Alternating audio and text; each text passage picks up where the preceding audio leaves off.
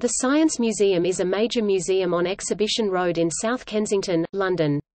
It was founded in 1857 and today is one of the city's major tourist attractions, attracting 3.3 million visitors annually. Like other publicly funded national museums in the United Kingdom, the Science Museum does not charge visitors for admission. Temporary exhibitions, however, may incur an admission fee. It is part of the Science Museum Group, having merged with the Museum of Science and Industry in Manchester in 2012. Topic origin and history A museum was founded in 1857 under Bennett Woodcroft from the collection of the Royal Society of Arts and surplus items from the Great Exhibition as part of the South Kensington Museum, together with what is now the Victoria and Albert Museum. It included a collection of machinery which became the Museum of Patents in 1858, and the Patent Office Museum in 1863. This collection contained many of the most famous exhibits of what is now the Science Museum. In 1883, the contents of the Patent Office Museum were transferred to the South Kensington Museum. In 1885, the science collections were renamed the Science Museum and in 1893 a separate director was appointed. The art collections were renamed the Art Museum, which eventually became the Victoria and Albert Museum. When Queen Victoria laid the foundation stone for the new building for the Art Museum, she stipulated that the museum be renamed after herself and her late husband. This was initially applied to the whole museum, but when that new building finally opened ten years later, the title was confined to the art collections and the science collections had to be divorced from it. On 26 June 1909 the Science Museum, as an independent entity, came into existence. The Science Museum's present quarters, designed by Sir Richard Allison, were open to the public in stages over the period 1919 to 28. This building was known as the East Block, construction of which began in 1913 and temporarily halted by World War I as the name suggests it was intended to be the first building of a much larger project, which was never realized. However, the museum buildings were expanded over the following years. A pioneering children's gallery with interactive exhibits opened in 1931. The center block was completed in 1961-3, the infill of the east block and the construction of the lower and upper Wellcome galleries in 1980, and the construction of the welcome wing in 2000 result in the museum now extending to Queen's Gate. Topic collections The Science Museum now holds a collection of over 300,000 items, including such famous items as Stephenson's rocket, Puffing Billy the oldest surviving steam locomotive, the first jet engine, a reconstruction of Francis Crick and James Watson's model of DNA, some of the earliest remaining steam engines including an example of a Newcomen steam engine, the world's first steam engine, a working example of Charles Babbage's difference engine, the first prototype of the 10,000-year clock of the Long Now, and documentation of the first typewriter. It also contains hundreds of interactive exhibits. A recent addition is the IMAX 3D cinema showing science and nature documentaries, most of them in 3D, and the Wellcome Wing which focuses on digital technology. Entrance has been free since 1 December 2001. The museum houses some of the many objects collected by Henry Wellcome around a medical theme. The fourth floor exhibit is called Glimpses of Medical History, with reconstructions and dioramas of the history of practiced medicine. The fifth floor gallery is called Science and the Art of Medicine, with exhibits of medical instruments and practices from ancient days and from many countries.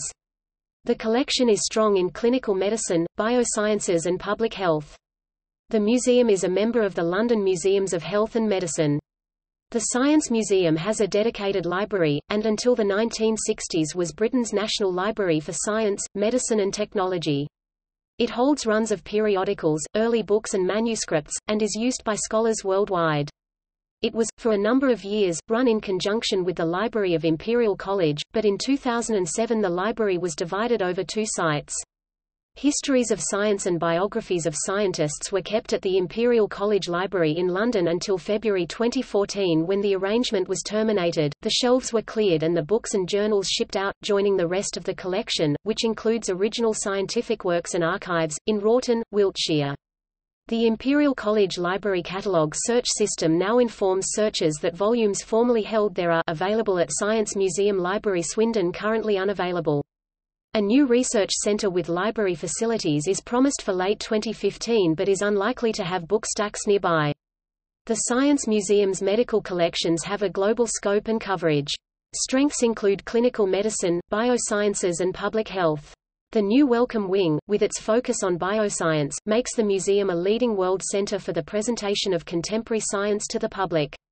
Some 170,000 items which are not on current display are stored at Blythe House in West Kensington.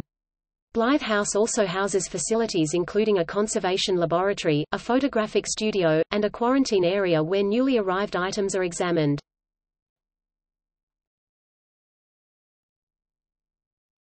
Topic: The Dana Center.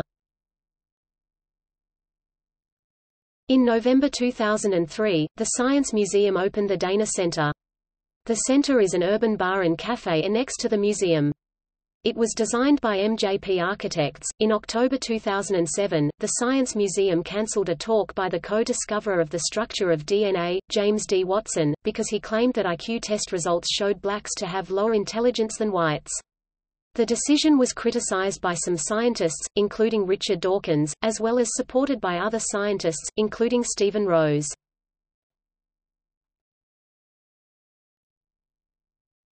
Topic: Informal learning.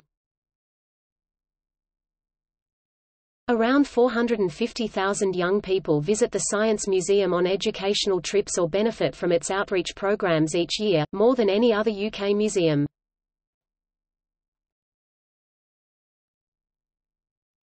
Topic: Science Night. The Science Museum also organizes Science Night, all-night extravaganza with a scientific twist. Up to 380 children aged between 8 and 11, accompanied by adults, are invited to spend an evening performing fun, science-based activities and then spend the night sleeping in the museum galleries amongst the exhibits. In the morning, they're woken to breakfast and more science, watching a film before the end of the event.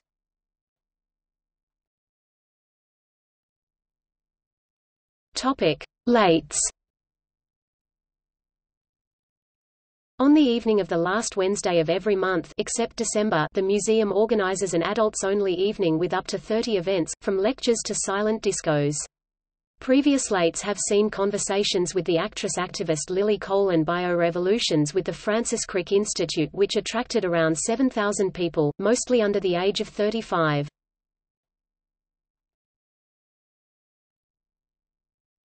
Topic: Galleries The Science Museum is made up of a number of galleries, some of which are permanent, and some of which are temporary.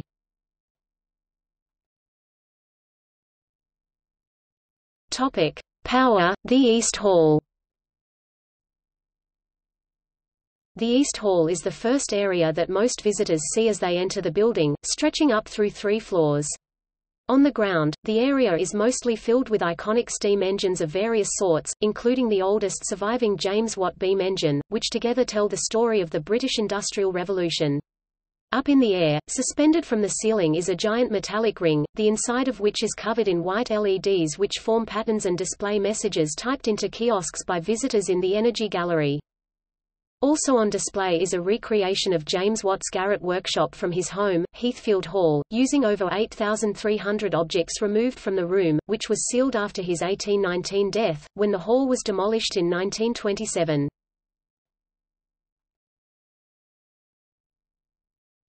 Topic: Exploring space. Exploring Space is a historical gallery, filled with rockets and exhibits that tell the story of human space exploration and the benefits that space exploration has brought us particularly in the world of telecommunications.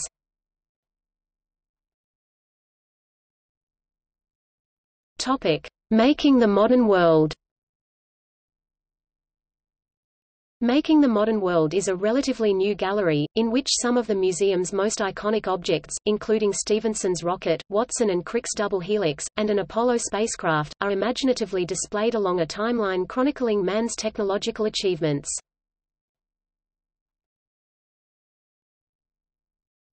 Topic: Flight. Flight is another long-standing gallery, up towards the western end of the third floor. Contained in the gallery are several full-sized aeroplanes and helicopters, including Alcock and Brown's transatlantic Vickers Vimy 1919, Spitfire and Hurricane fighters, as well as numerous aero engines and a cross-section of a Boeing 747.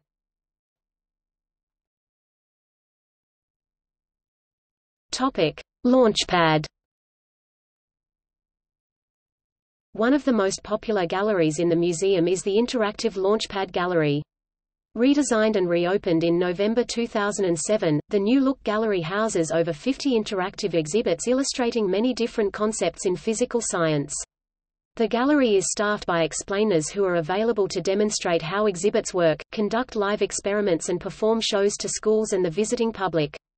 Launchpad has now closed. The Science Museum are preparing a new interactive gallery which opens in late 2016. The new gallery will be bigger than Launchpad and packed with state-of-the-art interactive exhibits.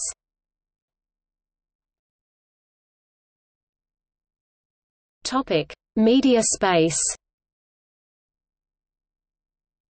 This gallery is a collaboration between the Science Museum and the National Science and Media Museum in Bradford, home of a photography collection of more than 3 million images.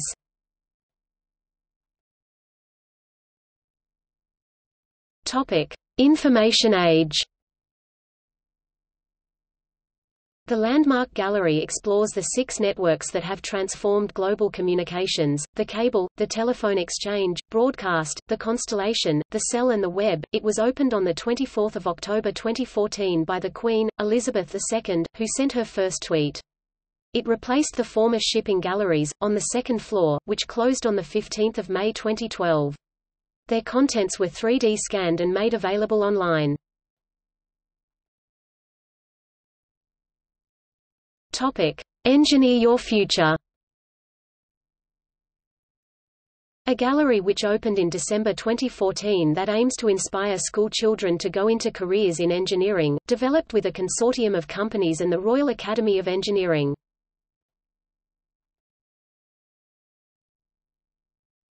Topic: Temporary exhibitions These range from the award-winning Codebreaker, On the Life of Alan Turing, to Unlocking Lovelock, which explores the archive of James Lovelock.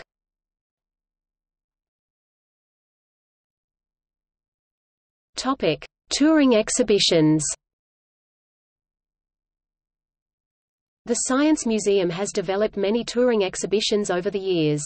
The Science Box Contemporary Science series toured various venues in the UK and Europe in the 1990s and from 1995 the Science of Sport appeared in various incarnations and venues around the world. In 2005 the Science Museum teamed up with Fleming Media to set up the Science of who develop and tour exhibitions including the science of aliens, the science of spying and the science of survival. In 2008, the Science of Survival exhibition opened to the public and allowed visitors to explore what the world might be like in 2050 and how humankind will meet the challenges of climate change and energy shortages. In 2014 the museum launched the Family Science Energy Show, which toured the country. The same year it began a new program of touring exhibitions which opened with Collider, Step Inside the World's Greatest Experiment to much critical acclaim. The exhibition takes visitors behind the scenes at CERN and explores the science and engineering behind the discovery of the Higgs boson. The exhibition will tour until early 2017. Media space exhibitions also go on tour, notably only in England which displays works by the great photographers Tony Ray Jones and Martin Parr.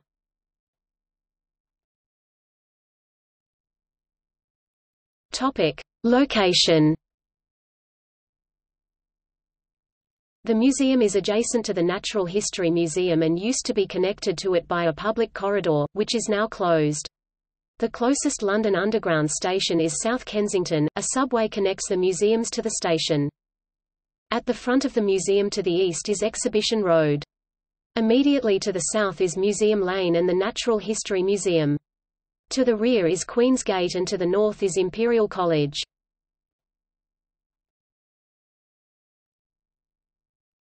Topic: Refurbishment.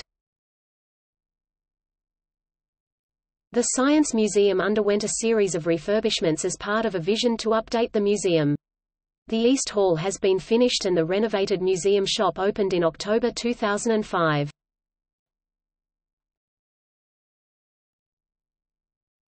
Topic: Online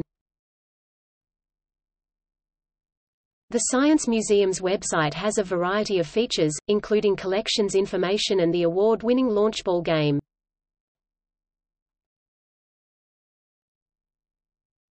Topic: Environment. The museum joined the 1010 project in 2009 in a bid to reduce its carbon footprint. One year later it announced that it had reduced its carbon emissions according to 10, 10's criteria by 17%.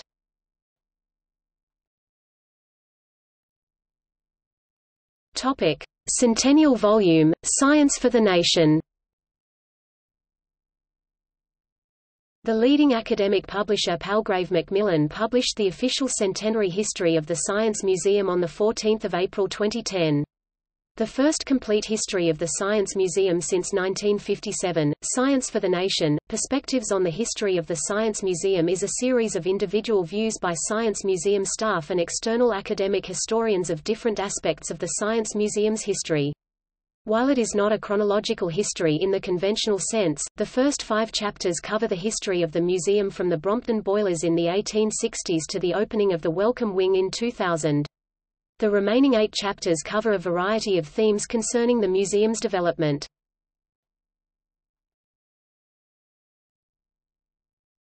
Topic: Directors of the Science Museum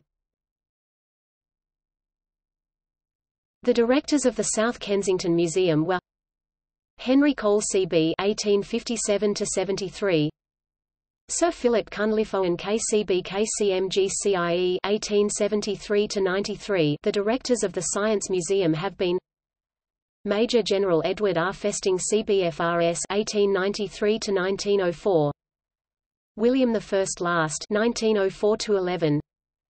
Sir Francis Grant Ogilvie CB 1911 Colonel Sir Henry Lyons FRS 1920 34 Colonel E. E. B. Mackintosh DSO 1933 45 Dr. Herman Shaw 1945 50 Dr. F. Sherwood Taylor 1950 56 Sir Terence Morrison Scott DSc FMA 1956 60 Sir David Follett FMA 1960 73 Dame Margaret Weston DBE FMA 1973 86 Sir Neil Cossons OBE FSA FMA 1986 2000 Dr Lindsay Sharp 2002 Ian Blatchford 2010 The following have been head director of the Science Museum in London not including its satellite museums.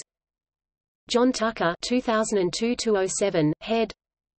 Professor Chris Rapley CBE 2007-10 The following have been directors of the National Museum of Science and Industry, since April 2012 renamed the Science Museum Group which oversees the Science Museum and other related museums, from 2002 Dr. Lindsay Sharp 2002-05 John Tucker 2005-06, Acting Director.